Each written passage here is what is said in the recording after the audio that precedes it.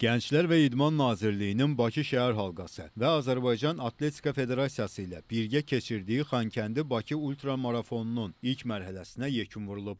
İştirakçılar birinci günü Xankəndidə başlayıb Yevlaxda yekunlaşdırıblar. Qürurla irəli şüarı ilə təşkil edilən marafonun birinci mərhələsinin qalibi Elmir Əskərov olub. O 83 kilometr məsafəni 6 saat 52 dəqiqəyə qət edib. İkinci yeri Ağa Əliyev tutub. Elmar Abuşov finişə üçüncü çatıb. Birinci gün asan olur. Çünki ə, hələ yorğunluq yoxdur da.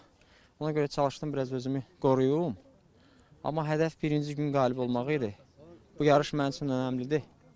Yəni mənası var da, önə- önəmi var. Ona görə ə, belə deyək, 5 il öncə mən ağlıma da gətirə bilməzdim ki, ə, bu torpaqlara gedib çıxa biləcəm. Ona görə ə, yəni qalib olmaq mənim üçün çox önəmli idi. Ona görə nəyin bahasına olur olsun düşünürdüm ki, son metrlərdə də olsa gəlim birinci çıxım.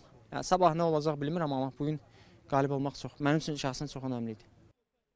İdmançılar növbəti günlərdə Yevlax Ucar, Ucar Hacıqabul, Hacıqabul Qobustan və Qobustan Bakı mərhələlərini keçməklə paytaxta çatacaqlar. Martın 4-də yekunlaşacaq yarışda iştirakçılar ümumilikdə 380 kilometr qət edəcəklər. Hər mərhələnin qalibləri ayrılıqda təltif ediləcəklər. Ultramarafonun ümumi qalibləri isə baş mükafata layiq görüləcəklər.